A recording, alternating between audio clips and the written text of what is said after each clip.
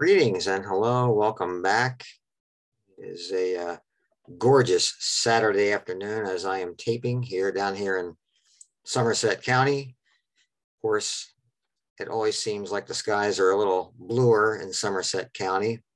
Uh, hopefully you're having uh, as radiant of a day out there as uh, we are here. Progress and civilization are two words for you, two concepts the average person may attribute to, I don't know, uh, but probably not to eras uh, before the time of Christ.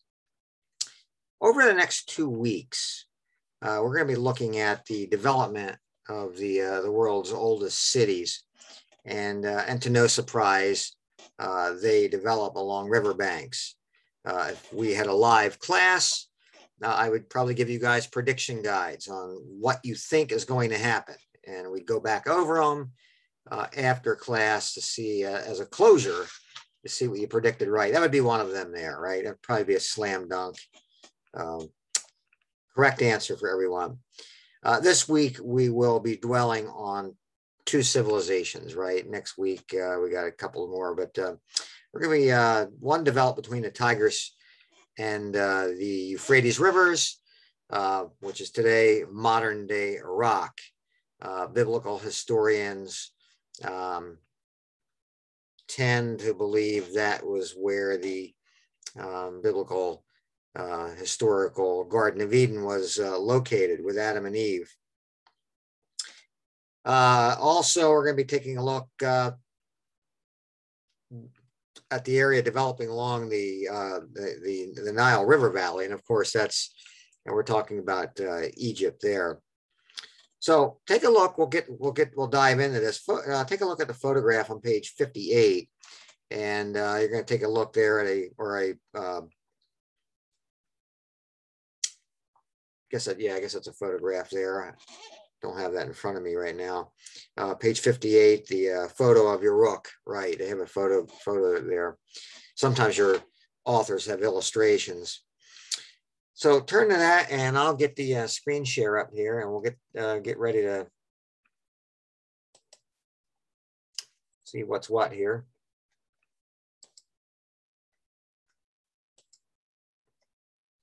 Okay early cities along the uh, river basins.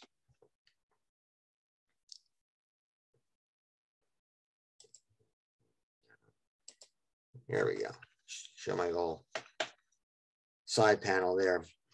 So early cities, early cities along river basins, uh, given these new conditions in the relatively short period between um, you know, 3000, 1000 BC, uh, three major uh, urban developments took place in the Tigris uh, Euphrates Basin in Southwest Asia and along the, uh, the Nile River, which flows into the Mediterranean Sea, and in the northwestern uh, South Asia by the Indus River, which we'll take a look at uh, next time and you can look at map 2-1, take a look at map 2-1 in your textbooks um, to um, connect this. But in addition to the new social organization uh, in these expanding settlements, new technologies uh, appeared.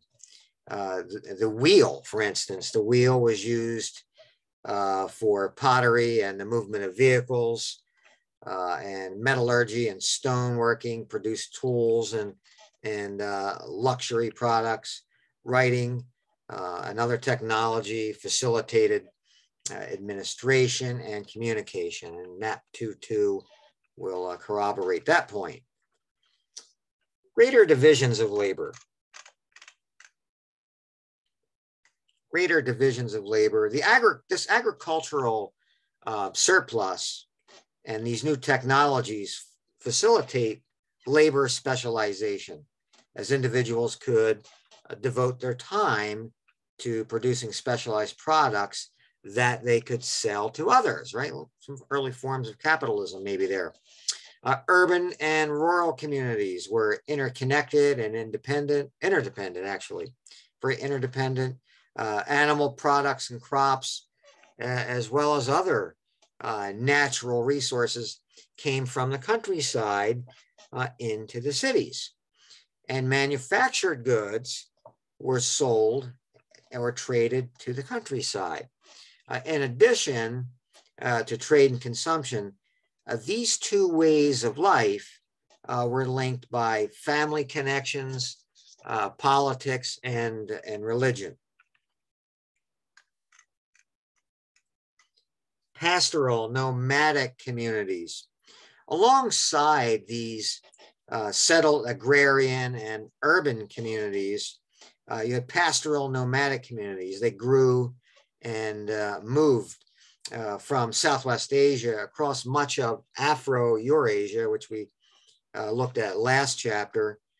So in contrast, they remain small and without large public buildings, these communities, or much infrastructure at all. So they move cyclically from highlands to lowlands and maintain connections with agrarian communities with which they could exchange animal products for grains, pottery, and, and tools.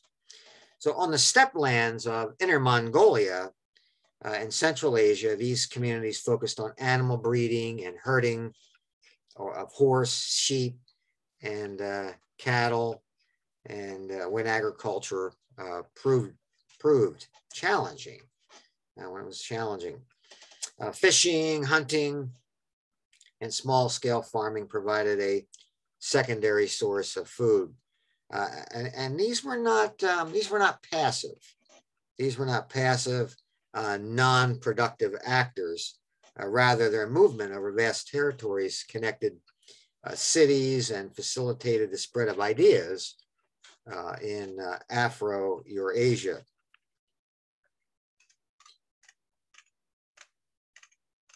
Now, between the Tigris and Euphrates rivers, modern day Iraq, at this time period uh, called Mesopotamia. So within this large uh, geographic and human context, the world's first complex society uh, emerged in Mesopotamia between the Tigris and Euphrates rivers. Uh, the region was well suited uh, to the growth of cities. Uh, uh, though the rivers were unpredictable and, uh, and difficult to navigate uh, when controlled with irrigation, they could support a rich agricultural system. The region was also well located, uh, providing access to neighboring regions. So the revolutionary irrigational system developed here by an engineer corps uh, used levees to control the rivers and, and then ditches uh, and uh, canals to divert water so that uh, vulnerable crops would not be overwhelmed during, uh, during flood season. With these very un, with uncontrollable, unmanageable these two river systems. So then stored and channeled water could be used to sustain crops during their drier season. Uh, over on page um, 65, you can see the caption there of early uh, Mesopotamian waterworks. The crossroads of Southwest Asia, though they had the resources to manage agriculture, uh, Mesopotamia was uh, deficient in most uh, natural resources. So to construct its cities, it depended in large part on trade uh, with, uh, with regions. So to this end, it imported cedar from Lebanon, uh, copper and stone from Oman, uh, copper from Turkey and Iran, and uh, lapis lazuli and tin from uh, Afghanistan. We're talking lapis lazuli, um, like emerald, a blue emerald. The physical openness of Mesopotamia's boundaries eased the movement of uh, people and goods in the regions, uh, making it a crossroads. Uh, it led, meanwhile, to the growth of its cities.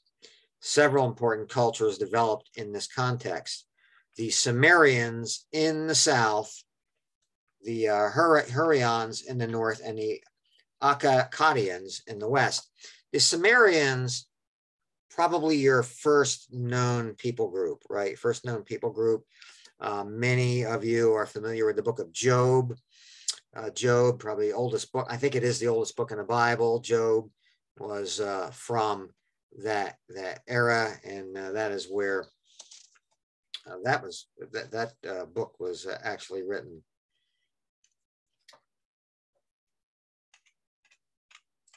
The world's first cities. As populations grew, many migrated from the rural areas to these um, city centers um, where new opportunities uh, were, were possible. Uh, the early, earliest cities of Sumer, which I just spoke of, in the south included Eridu, uh, Nippur, and Uruk. Uh, these cities gradually uh, grew over hundreds of years, uh, often as clusters of uh, mud brick buildings that were built up over time.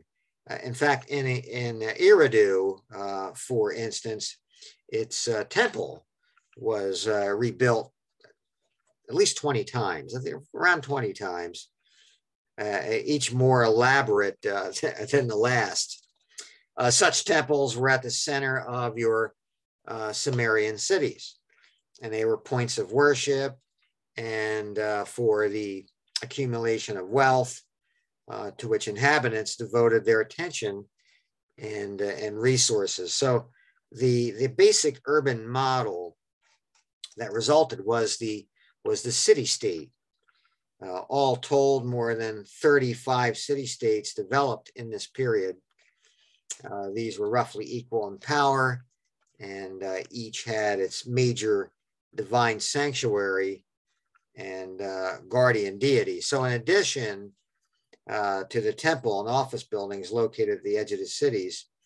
The uh, center city was organized uh, around a uh, around a canal where different craftspeople uh, worked, and in this way, city states were both commercial and religious centers. And this captured the social hierarchy of um, society in the city. Page 67, you can see a layout of uh. Gods and temples. Sumerians and later Akkadians uh, believed their gods had, had uh, in, initiated all of this and could, could control everything around them for good or, or, or ill. Uh, the Epic of Gilgamesh, the Epic of Gilgamesh, a um, second millennium uh, composition captured this worldview. Uh, each day's city god was housed in its major temple, and its inhabitants believe that their god determined the uh, city's character, its, its institutions, uh, its relationships with neighbors, and uh, general welfare. In fact, um, in a live class I'm having right now elsewhere in another institution, in an introduction to humanities class, we're focusing on the arts. So we're really focusing on the Epic of Gilgamesh, and that is their um, required reading for the week. And I'm kind of thinking about maybe uh, placing that on uh, your uh, course page. That uh, if you're interested, you could uh, take a look at that as well. So if you see it there, it's not there now. If you see it, you know I've changed my mind and placed it there. But uh, nevertheless, the the temple took the form of a large scale stepped ziggurat. And by 2000 you know, BC, this was flanked by buildings for priests, officials, laborers, and servants. And it was thus not strictly a, a not a strictly religious site. Uh, there, people engaged on the god's uh, estate. That's what it was kind of looked at. Uh, you know, yes, in quotes there, right? The god's estate. We'll do that uh, in productive and commercial activities, which uh, employed a large workforce in uh, agriculture and uh, manufacturing. Uh, you can see the ziggurat on page 68. Royal power, families, and social hierarchy. Uh, in addition to the concentration of uh, spiritual and economic power temples, royal palaces emerged uh, around uh, 2000 BC on the edge of cities to uh, concentrate royal, secular, and military power.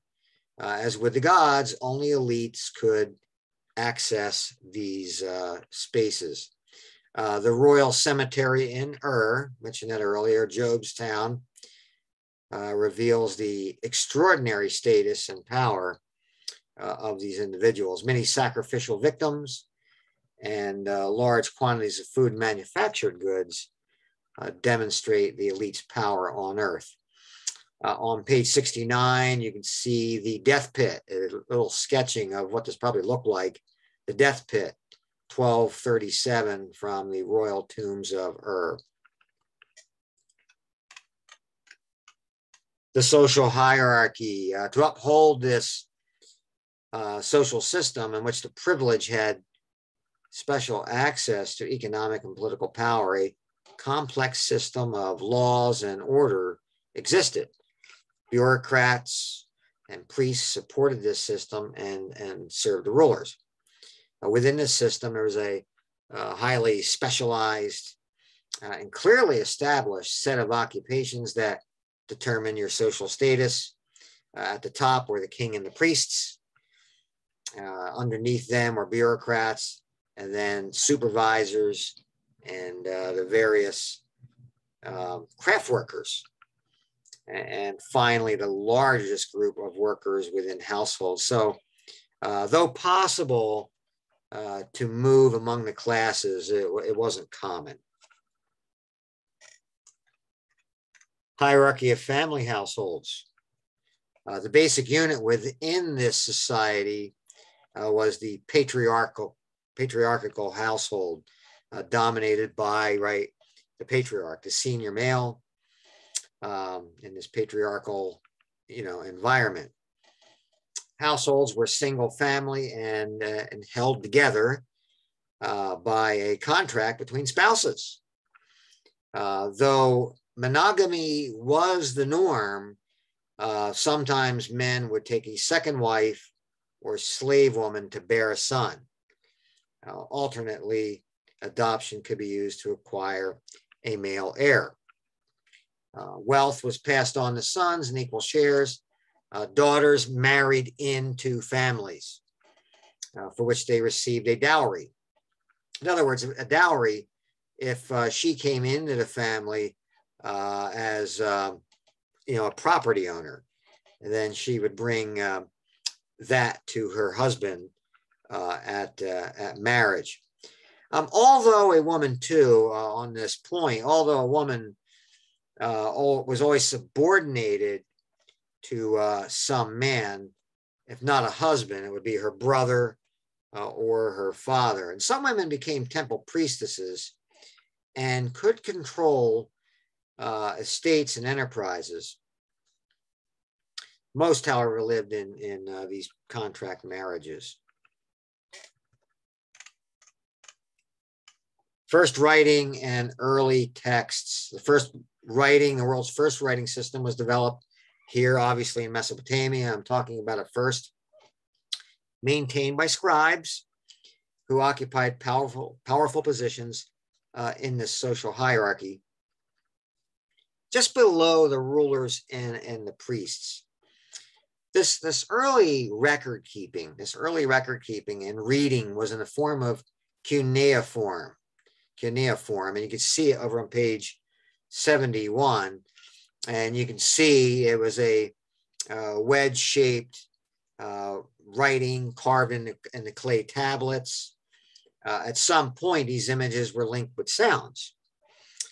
And, uh, and, and those sounds with meaning gave birth to you know, a written and spoken language that could be used to track trade, and property. Quite remarkable, actually.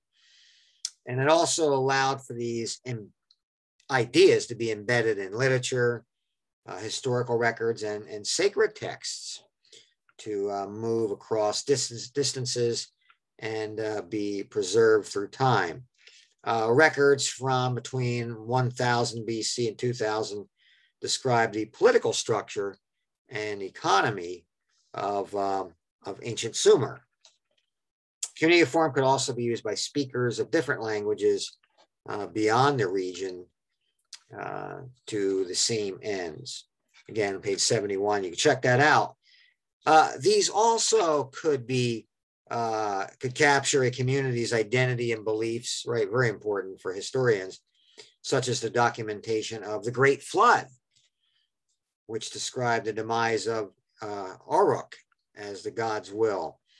And uh, probably should add that uh, many of these old societies borrowed much uh, from uh, the writings of uh, Moses, hence the Great Flood spreading cities and the first territorial states, cities begin to unify uh, in the states. Uh, the Sumerian city states were the most powerful in the second millennium, and the competition for resources and trade uh, drives their growth, drives their growth. Uh, however, the, the constellation of uh, city states changed under the conquest of King Sargon King Sargon, uh, the great of uh, Akkad, who unified southern Mesopotamia into the world's first territorial state. Uh, a, it was a multi-ethnic collection of urban centers. Uh, its geographic influence uh, increased greatly under his rule, as did the new period of architecture. Architecture, art, and, and, and uh, literature sponsored by the state uh, Akkad uh, captured and uh, it was captured uh, eventually, and its territory uh, and territorial state fell a um, century after his death by peoples hailing from the uh, Zagros Mountains, revealing the struggle between the urban centers and populations on the margins of states. And you can check out with this map 2-3 on page 72.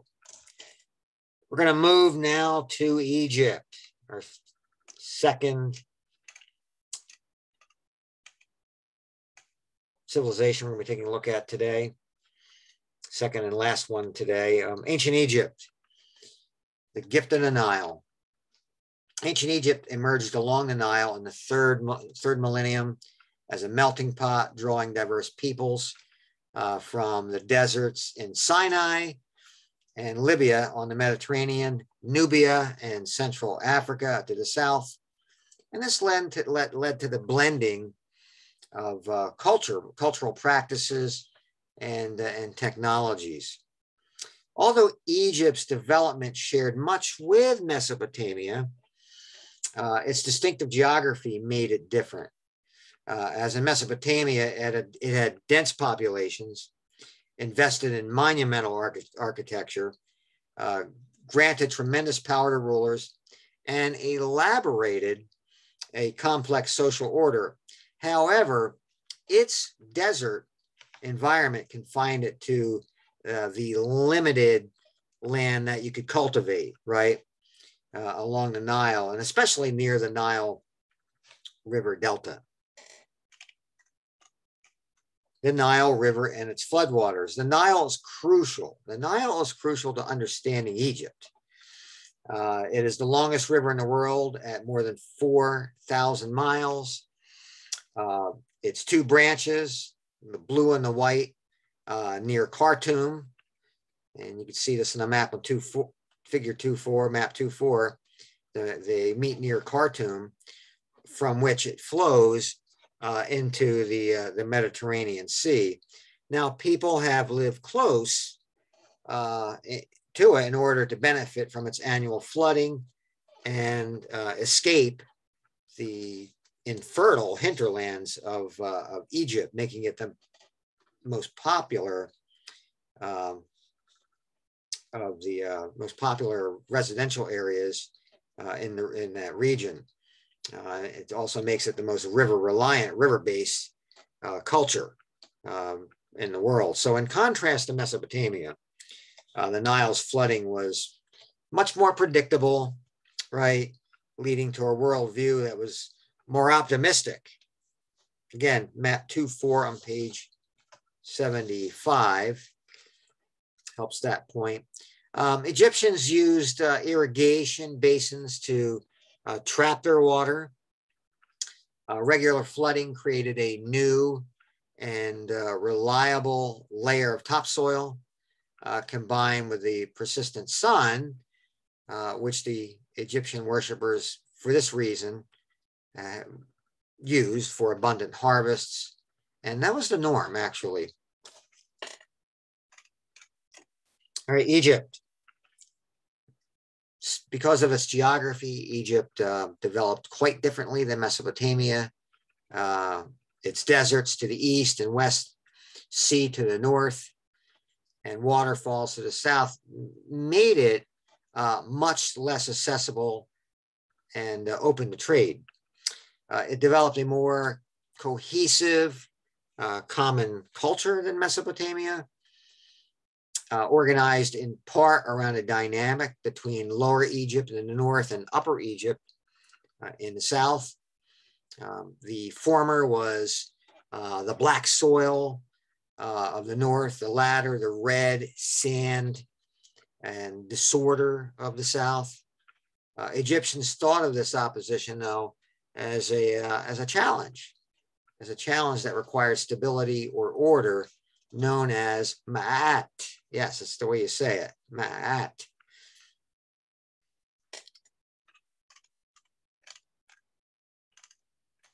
Egyptian state and dynasties. Egypt, Egypt developed quickly, and a semi-divine pharaoh uh, was looked at to uh, be responsible for protection and uh, prosperity, kind of a god slash king.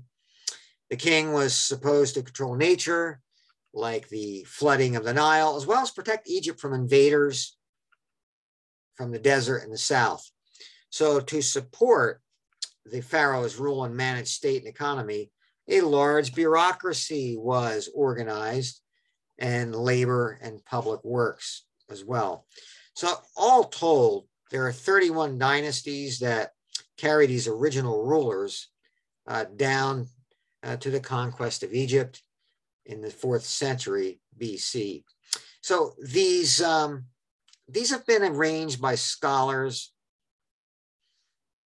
into an old, middle, and, uh, and new kingdom, if you please, uh, each marked by a breakdown of authority at some juncture uh, in a first, second, and third intermediate periods.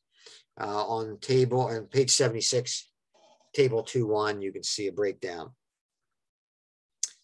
Pharaohs, pyramids, and the cosmic order. somewhere in the second millennium, uh, the third dynasty launched the Old Kingdom, consisted and considered the golden age of, uh, of uh, ancient Egypt. And in this period, in this period, uh, the ruler was conceived as a god uh, with divine powers. So to emphasize his power, uh, rituals were performed on monumental architecture, such as the Sed Festival, uh, which was served to renew the king's vitality. Uh, you had King Djoser um, had this performed at his tomb complex in Saqqara, a step pyramid and uh, precursor to the pyramids is what that basically was. So such rituals emphasize both the divinity of the king and the unity of Egyptians uh, beneath him. Uh, under the fourth dynasty, under the fourth dynasty, around um, you know early third millennia, uh, the grand pyramids at Giza were built.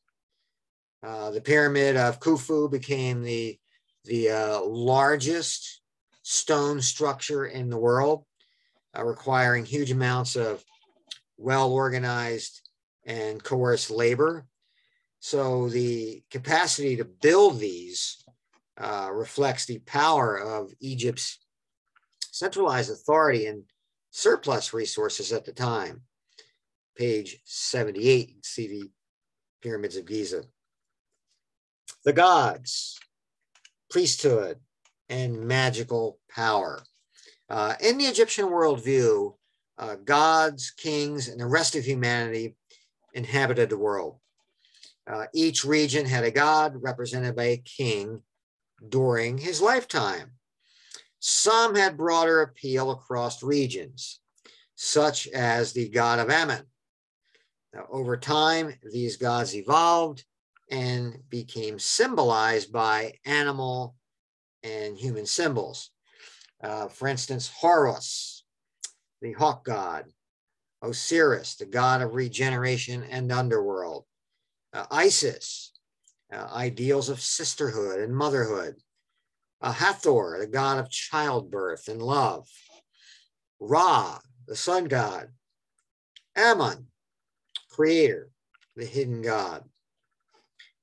A reciprocal dynamic uh, held humans and gods together, religious practices at temples, uh, worshiped at the gods. They worshiped the gods.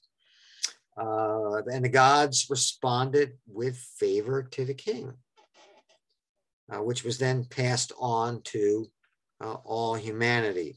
Uh, priests served the crucial role within temples, controlling all communication uh, with the gods and elaborate rituals that required extensive training. Common people also practiced popular religions, which depended on the use of magic, uh, such as amulets, omens, and divination at local shrines. Uh, amulets were worn on the or were on the bodies, uh, acting as a charm against um, you know some kind of evil. Page 79 uh, augments that point, these points.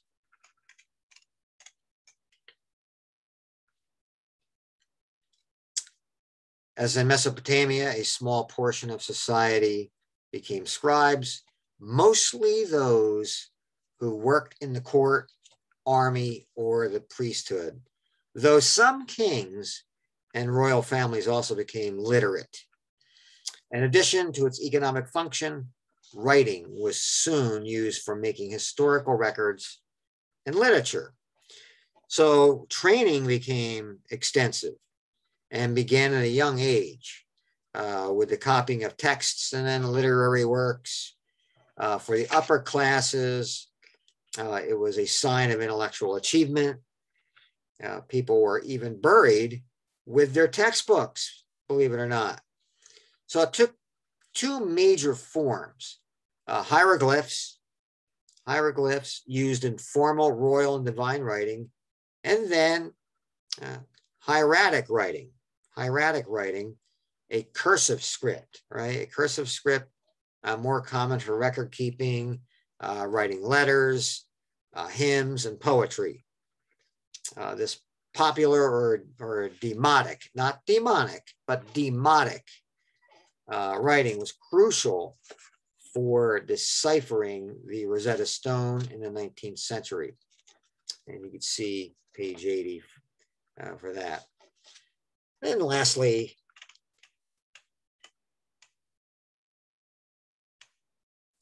forgot my uh, screen there. I apologize for that.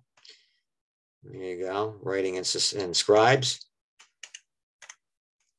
Prosperity and the demise of the, the old kingdom. There was a remarkable prosperity uh, in this period uh, in which the population grew from 350,000 to uh, 400,000 and then the 500, or and then the five, um, then the 5 million, eventually the 5 million around oh, 1000 BC. So a pretty big jump and within a powerful state, and uh, it was well functioning, a well functioning bureaucracy, uh, essential to managing all these resources. So as Egypt grows, centralization begins to break down. And amid an extended drought, internal weakness leads to collapse. Pepi II was the last ruler of the Old Kingdom um, in, uh, you know, around two, 2000 BC. This led to a first intermediate period and in which local magnates, lo local magnates held power and violent regional struggles. Violent regional struggles played out. Nonetheless, the institutions and beliefs of the old kingdom persisted and would be revived. So if you have your graphic organizer, um, this is going to be completed at the end of next week. We looked at the rivers, cities, and first states, part one, uh, the river-based, uh, river basin cultures, shared basic features, but they take different paths, right? Tigris and Euphrates, immense floodplains, difficulty sustaining their populations, and need for large hinterlands. Cities vied for prominence, uh, leading to rituals or rivalries, leading to rivalries. Uh, shared basic features, but taking different paths over in the Nile, Egypt, Nile River Valley, smaller cities, but more political and more political stability. Uh, social landscape changes in the first and second millennia. Uh, giant rivers are irrigating the fertile lands. Uh, complex cultures emerged, uh, expanding populations, uh, occupational special specialization, social hierarchy, rising standards of living, uh, sophisticated systems of art and science, and productions of clothing. Ceremonial sites and trading crossroads become cities. Uh, they develop religious and political systems. And then your um, social distinctions, right? Men and women, country and city folks. Next week, we will fill that in when we look at uh, part two of the chapter. Let's take a look at um, where we want to go and uh, what is uh, uh, what is up ahead in this um, particular chapter. We want to answer these questions. Uh, you might want to do that uh, as a wrap up and help uh, your uh, assist your reading and uh, discussion questions. Uh, identify the earliest river-based societies. You can probably do that now since we lectured. analyze their shared and distinctive characteristics. Explain the religious, social, and political developments that accompany early urbanization. Again, if you were in my live class, this would be an exercise I have called Ticket Out. Right, I would have you answer these to see how well you grasp the um, the lecture. Okay, let's uh, look at what's up ahead now.